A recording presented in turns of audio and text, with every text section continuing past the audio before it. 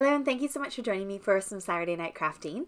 Tonight's video I've got one where I wanted to use up some chunky embossing powders like you know those really glittery, really sparkly ones that you might have sitting around in your stash? And I was thinking that I can't be the only one that struggles when you've got these gorgeous powders with what to do with them. Because sometimes having small fine line stamps and chunky cool embossing powders they just don't really go together you kind of lose that sparkle. So I thought, let's do a video where I can give you three different ways that we can use up those embossing powders and really kind of showcase them and make use of them. So my first technique, my first method is going to be to use stencils. So have a look at your stash, see if you've got any stencils that are nice and big and open, not fine and detailed, but nice and big and open. I've got this one from Lisa Horton Crafts, um, and I'm going to just simply stick it down on top of my piece of cardstock and then take my embossing ink and kind of squish that ink through the stencil so that I'm getting those little dots nice and covered in a thick layer of ink.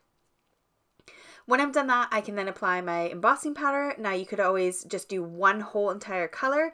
I wanted to use all four colors, so I'm going for like a rainbow effect and I'm just gonna do one at a time. So I tip down my color and then empty it back into the pot and do that with each individual color so I don't kind of mix those colors together. This one's quite a chunky, colorful set. So it's got some metallics in it, it's got some uh, mica powder in it, it's got sort of all sorts in there. And so it's really difficult to work with if you want to use it on anything fine and detailed. It doesn't really show up that well.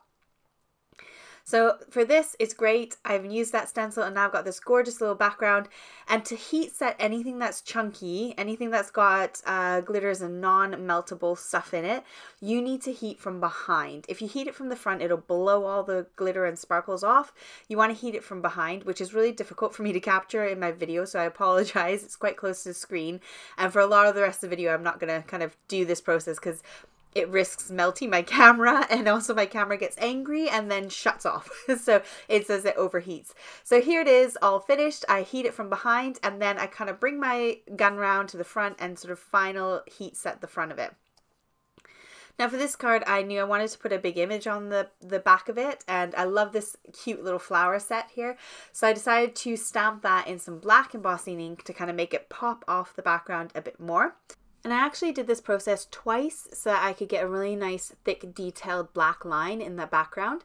So I've gone ahead and inked it up with my clear embossing ink and then I'm going to sprinkle over some black powder on the top and then heat set that. I can do that from the front. I don't need to do it from behind because it's not got any glitter in it.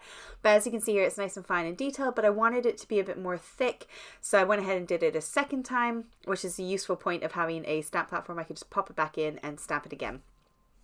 Now for the second method of using up those powders as a background, we can use embossing folders. So I've chosen some embossing folders that have got quite a large background to them, so they're not super duper fine and detailed. Um, and I've got two different ways that we can apply this ink to get those nice and inked up. The first way is just to go direct to paper. So I'm going to take my piece of cardstock, and apply my ink right on top of that embossing uh, embossed image. Now it's important if you are going to dab your ink pad on that you make sure that you're lightly tapping it down because you don't want to fill the crevices too much. I did kind of push too hard on here so I did fill up a lot of the background crevices but I still like how it looks and I like that texture that I've got going on. So obviously this way you get a lot more ink everywhere. You don't get as much definition from the embossing folder, but you can still see the embossing folder through all the gorgeous glitter. The second way is to take a brayer and apply the ink that way. So this one's a bit more spread out, this pattern. So I'm going to take a brayer and just gently run that over the top, make sure I get lots of ink on there. And then you can see with this method, you get a lot more detail with the ink lining up with the image behind it. So here it is all heat set and finished and you've got this gorgeous sparkle and you've got all that embossing powder that you can see all its beautiful detailing in. Now the third method for using up these powders is to use dies with them. So for this I'm going to take some cardstock, I'm going to apply my ink direct to paper again and ink up about three quarters of that big piece of cardstock and then I am going to cover the whole panel with the powder and heat set it. Then I've got a nice big background that I can work with with some dies. So through the magic of videos, here are all four of them done and beautiful and heat set. And now we can go ahead and die cut out of them and create some cards. So for these ones, I decided to have a look through my stash. I thought circles would be fun. And then I had these cool little shape wavy circle things I'm going to use and some hearts as well. So the first card I did was just simple, three different sized circles, stuck them onto a card, and then added a foiled sentiment from my little foiled sentiment pack from Pink Fresh Studios. For my second card, I used the wavy dies and I popped them up on top of a background that I embossed with another embossing folder, added a sentiment, finished that one off. And then here's the outside of those uh, wavy dies. I decided to glue them down on top of this card base and add another foiled sentiment. And going back to that first one we did, there's the flower card. I added a little sentiment at the bottom, trimmed down the panel a tiny bit. And then I added some Nuvo drops to give it a bit more dimension in the center of the flower and on those little um, petals. And those dots are completely clear once it's dried. I've still got some bits left over to use up on another project, but I love these panels and I can't wait to make them into cards.